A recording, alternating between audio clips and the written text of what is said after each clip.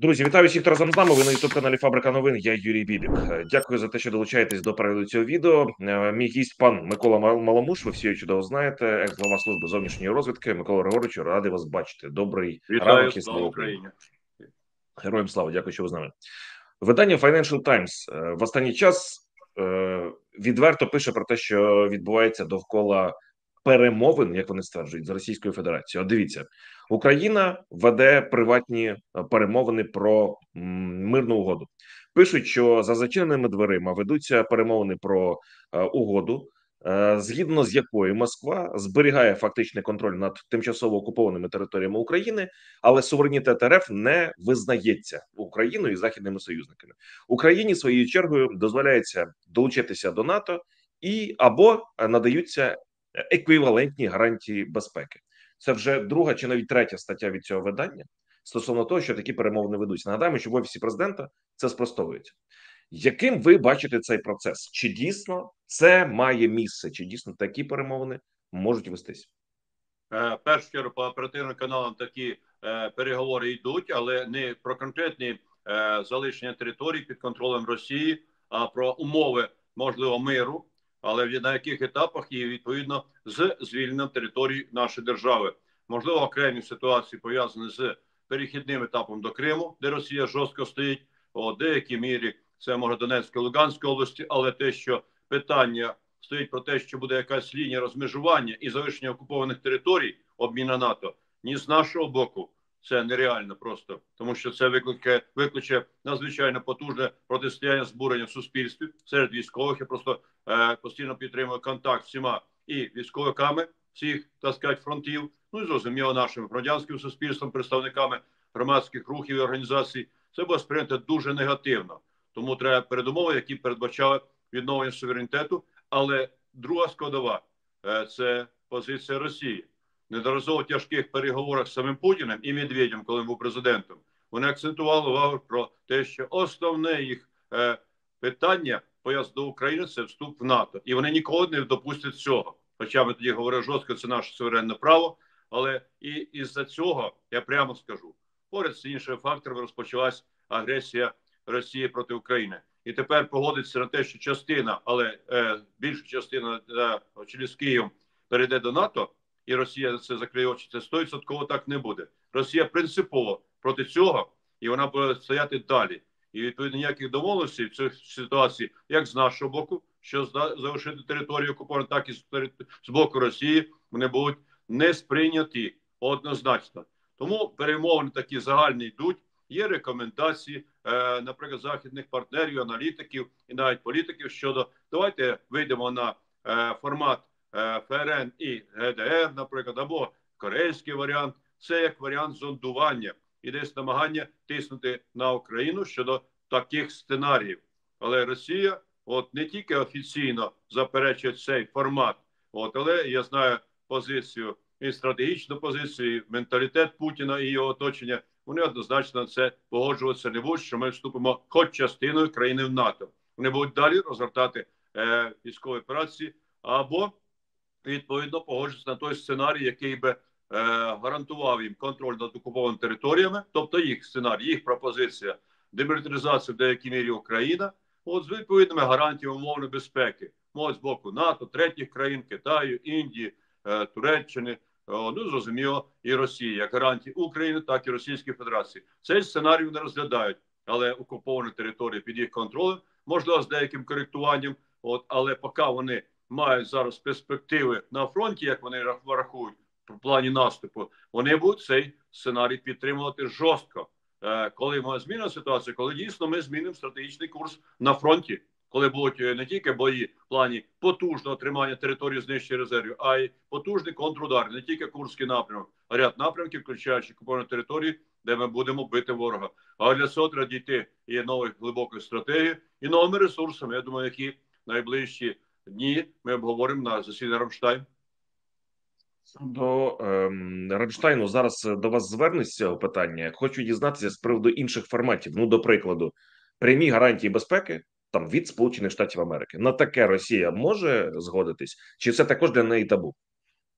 Е, на такі не точно ні, тому що Росія розглядає, що це був е, блок країн, от нову архітектуру світопорядку, але погодились на те, що припиняється війна, створюється лінія розмежування, е, формуються можливо якісь санітарні зони. Це Росія, і відповідно е, має погодитися на якісь е, сили контролю, але в першу чергу це буде контролювати сама Росія ситуацію. Пам'ятаємо, як вони по Грузії, Абхазію, Південна Осетія, наші міжнародні сили, от але Росія домінувала. Наприклад, на лінії розмежування з Молдовою міжнародні сили, але Росія постійно контролює ситуацію і в воєнному, і оперативному, і політичному плані. Тому вона надіється це їх е, рядом території, її е, контрольована лінія розмежування може погодитися на такий сценарій, тому що Росія також підірвала свій потенціал. Їй складно, тяжко, прямо скажу, вести війну. Підрив потужний, ресурсів недостатньо, військових ресурсів також, включаючи е, живу силу. Да, вони їх можуть збирати, кидати в окремих напрямках, але якщо стратегічно, Росія дуже потужно підірвала свій потенціал, і це надзвичайно для них чутливо. Тому вони готові до переговорів щодо припинення вогню, але е, щоб дійсно показати, що спецоперація, так називаємо, а я прямо скажу, стратегічна війна, вона принесла якісь здобутки росіянам, і Путін не програв. Розумію, він вимушений йти на той формат, який би гарантував йому і контроль території, і умови кращі для Росії, і гарантії з боку США, е, Британії, Європейських країн і третіх країн. І рахує тільки комплексний підхід може гарантувати таку перспективу і змусить Україну піти на такі е, поступки, як він рахує, але при умові, що він веде наступальні операції і щоденно е, має якісь здобутки, хоч 100 метрів, хоч кілометрів. Ну як він про це сам сказав, щоб кожен день заводить якийсь населений пункт або групу населених пунктів на території нашої держави. Григоровичу, щодо самого засідання Рамштайн е, на рівні лідерів, це надзвичайно важлива подія. Ну, по-перше, пишуть про ось цю компоненту, компоненту НАТО, що там це будуть обговорювати. А друге про далекобійне озброєння. І про це сказав, е, здається, новий генсек НАТО Марк Рюте, який прибув до Києва і сказав, що це питання будуть порушувати на майбутньому е, засіданні саміту Рамштайн. Які у вас від цього очікування? Чи можемо ми певні плюшки, вибачте за сленг, отримати, але отримати лише після виборів в Штатах? Ну сьогодні президент говорить, що це буде Е, стратегічний історичний Рамштайн, тобто збираються лідери всіх країн е, і країн НАТО, які приєдналися до цієї групи. Е, да, дійсно важливе засідання, але ті очікування, що воно історичне буде, що там буде змінений стратегічний курс щодо України. Ну тут так ще немає достатньо так сказати, певності, тому що в першу чергу питання стояло відносно вступу в НАТО і конкретних програм дій. От але я рахую, що в даний момент ні США, ні Британія, ні інші члени НАТО, які впливають на процес, наприклад, Німеччина, Франція, не готові до такого кроку.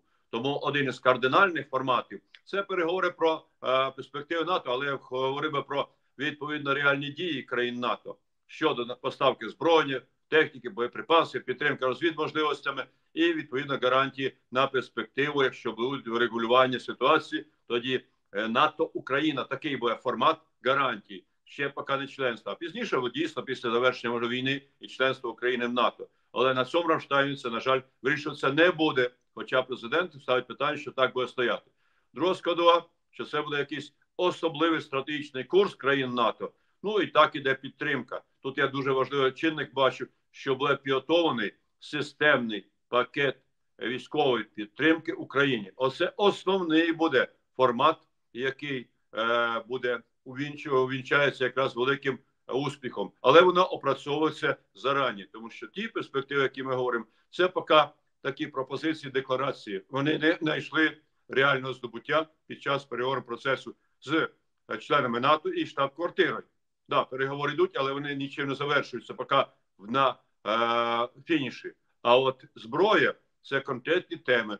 Ми їх довго і лобували в США і приблизно зброя, яка буде поступати з Америки на 7,9 мільярдів. Це конкретно запускників е, буде Пентагона і відповідно виробників США. Це конкретно Рамштайн визначиться, які це будуть ракетні системи різних типів. Це будуть додаткові літаки, це додаткові будуть Петріоти, це будуть Бредлі, можливо, Абрамси. Це відповідно е, потужні репи, які сьогодні надважливі для систем ППО не тільки нанесення ударів от по е, об'єктам Е, ракетним шахедом, але й нейтралізація масово, не одиничні формати. Це потужні е, типи е, бойових можливостей, каби, касетні боєприпаси. Це те, що розгортає якраз можливість і оборони, і наступу перспективі нової стратегії. Оце під нову стратегію ведення війни. Я думаю, дуже важливий буде чинник поставки зброї, боєприпасів в великих кількостях і і новий технологічного рівня 4, 5 Покоління Це так важливо для наших перспектив на фронті. Точно так же готує Британія, Німеччина, Франція, Італія, Іспанія і багато інших країн-учасниць. Це буде от в цьому форматі надзвичайно знаковий. І я думаю, на перспективу перемоги вирішальний Рамштайн. Отут треба значення надати дуже важливе щодо надання е, дозволу на биття по території Росії. Я прямо скажу, що це тактичне е, е, питання, тому що і по кількості атакам з і скальпті е, це не вирішальний момент. Навіть так є можливість бити по всій окупованій території, де знаходяться стратегічні аеродроми, наприклад, в тому же Криму. От відповідно пускові установки, ті ж С 400 С 500 якраз системи запуску шахедів з того Кримського півострова або з інших систем. відповідно удари по конкретним об'єктам на окупованих територіях. Це склади боєприпаси, вогневі точки, відповідно штаби.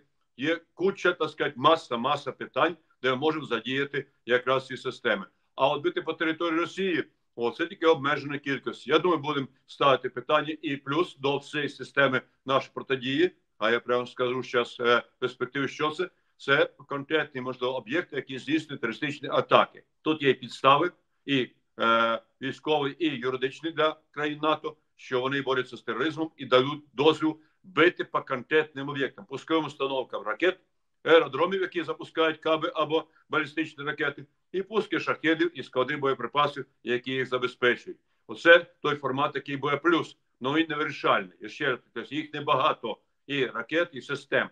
А що багато, це наші дрони сотні тисяч, які вже є, і ракети вже нашого виробництва. Це два. Це які б'ють і далі за 300 кілометрів до трьох тисяч. Вже ми говоримо, реально доставати, і без ніяких обмежень по всім об'єктам, по всій території Росії європейської частини. Оце клас. Їх треба збільшувати, більш сильно і саме головне кожен день, не питаючи ніякого дозволу і відповідно не маючи відповідних обмежень. Коли будемо бити прямо умовно, ще раз не раз е, акцентував по аеродромам тактичного рівня не будуть злітати літаки, не будуть каби бити по фронту і по нашим прифронтовим містам.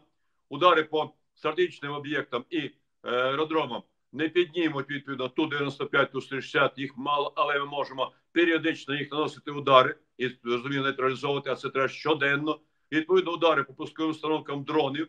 Це ще одна схема. Ну і зрозуміло, е, по С-300, С-400, С-500 це удари нашими і вже іноземними засобами.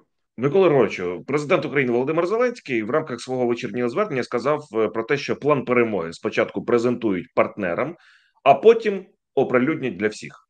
Чому така логіка? Скажіть, будь ласка, я думаю, що в даний момент це не зовсім правильна логіка.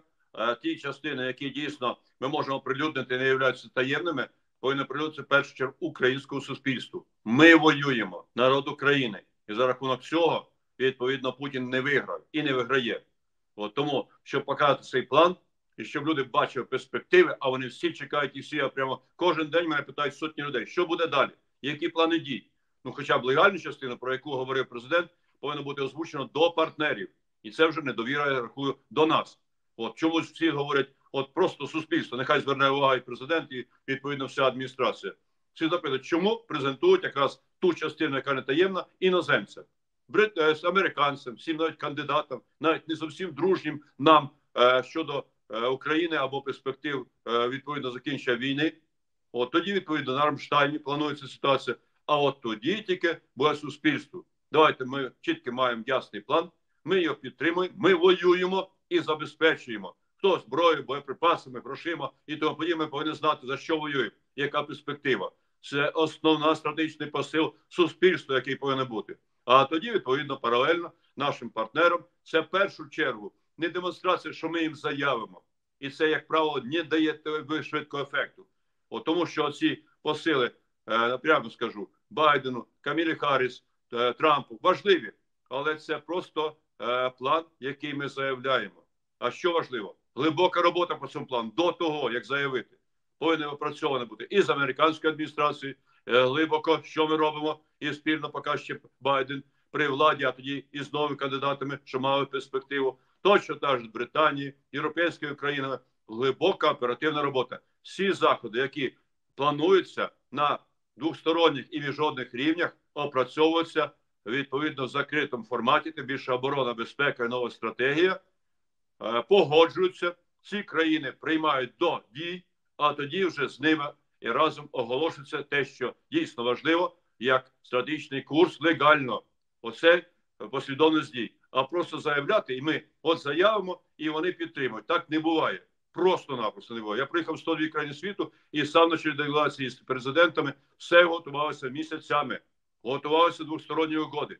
Тяжко було погоджувалися позиції кожної сторони. І тоді тільки досягали рішення, готував проект рішення і заявлялося про них і підписувалося. Оцей класичний варіант. І він повинен бути да. Сьогодні війна швидко, оперативно, але це така послідовність. Просто презентувати план лідерами. Ну вони подивляться, можна сказати, добро. Але реальність їх буде після того, коли буде глибоке працювання і практичні програми, і саме головне долучені професіонали високого рівня, як з української сторони, і до розробки, і до реалізації, так і з боку партнерів. Не тільки з нашого боку буває, не долучаються фахівці високого класу, з боку інших країн. І часто зустрічаються з ними. Вони не глибоко володіють ситуацією. Треба самому розшифровувати, е, допрацьовувати, залучати експертів, і тоді тільки вирішається питання. Але ще раз підкреслюю: спочатку українське суспільство, тоді відповідно наші іноземні партнери повинні отримати цей план. Секретну частину, як ми говоримо, опрацьовуємо глибоко, не роздовошуючи таємниці ні для нашого так сказати, громадян, ні для іноземних громадян, тому що і там може бути виток інформації. Ніч, але не секрет ні для мене, ні для вас, тим паче, що будь-яка секретна інформація стає не секретною для розвідки. Пам'ятаєте, коли ми готували контрнаступ, президент тоді сказав, що не неуспішність цього контрнаступу відбулася саме тому, що цей план лежав на столі у Путіна. Тобто, розвідка я так розумію, свою справу зробила. Де гарантія, що російська розвідка і зараз цю справу не може зробити, коли ми говоримо про якусь там секретну частину договору? Оце ми якраз про це і говоримо. Презентація якраз цього плану, як він говорить, і президент Е, лідерам, але там є оточення, а тим більше іншим е, представникам того або іншого сектору в іноземній країні. Вони обов'язково мають або можливість е, витоку ці матеріали, це через агентуру, але отримають технічним шляхом. Росія має надзвичайно потужну технічну розвідку. Тому любі переписки, презентації можуть зніматися технічними засобами, як ми говорили, і президент неодноразово сказав, що є дев'ять виток інформації. От я просто рахую, що тут треба не просто констатувати, а тим більше ніхто не покараний, як це виток пройшов на першому рівні підготовка стратегічної операції. А е, в принципі готувати приблизно як курську операцію, коли дійсно таємно, обмежене коло осіб, і е, зрозуміло, там ворог не очікує. Тому що в тій операції 23-го року, крім того, що виток інформації, це абсурд, просто я ж рахую, який цілком таємна або особливо важливості інформації, і вона як сказав президент, опинилися на столі в Кремлі. Просто не уявляєте, що це якась системна стратегічна зрада. Такого не повинно в принципі бути. І з другого боку, е, наступати там, де нас очікують, зуби дракона, мінні поля, е, лінія Суровікіна і концентрація російських військ. Я думаю, що цей формат стратегічно неправильний.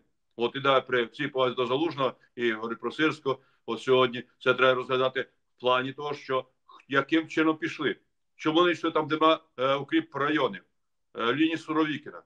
Били ж ми по іншим секторам і там заходили. І Харківський напрямок, і Херсонський напрямок, і Крим навіть ми говоримо. І сьогодні ми говоримо е, Курськ, як зайшли без ніяких ліній Суровікіна. І відповідно точно так же треба діяти на окупованих територіях, тому що на протяжності 1450 кілометрів оцих ліній і бреші, де можна пробити, є багато і там можна розвивати і тактичні, стратегічні наступальні операції, але підготовивши грамотно, де ворог не очікує, використовуючи нестандартне ведення війни, а не те, що ворог нав'язує затяжну війну по всьому фронту з секторами наступу. Оце лінія і відповідна позиція Росії. Нам треба зламати стереотип. Курс тільки повинен бути один із факторів, один з п'яти або з десяти факторів наших так сказати, в операції на лінії фронту. І основні стратегічні операції це коли підготуємося, я думаю, після Рамштайму це готуватися до серйозних наступальних операцій, а не відступати. Да, ми зберігаємо живу силу, зберігаємо наших солдат, це правильно, але з іншого боку, ми здаємо землю. постійно і конкретні міста. Тут треба дійсно переглядати і стратегічні позиції, і можливості наших військ.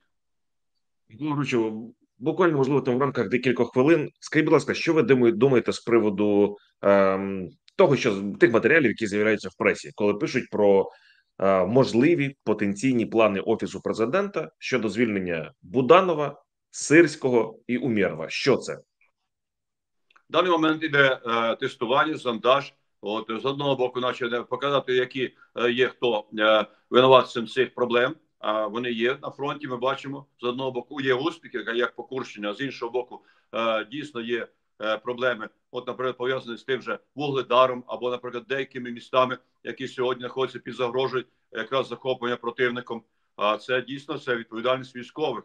Тому в даний момент дійсно політичне керівництво дивиться, а хто ж відповідальний, і особливо для суспільства. Це дуже важливий чинник. Я розумію для них. Хто ж е, буде на е, громадянського суспільства, хто буде основним винуватцем того, що сталося. Це одна складова. Ну, друга складова показати ефективність, начебто, уже нових людей, як неодноразово зміни на професійні кадри. Я рахую, що давно вже повинні зміни були і керівництво уряду, антикризові менеджери, і силового блоку підготувати потужні, потужні е, штаби, які дійсно відберуть кращих. І це на практично сьогодні ситуація на полі бою. Точно так же на зовнішніх напрямках.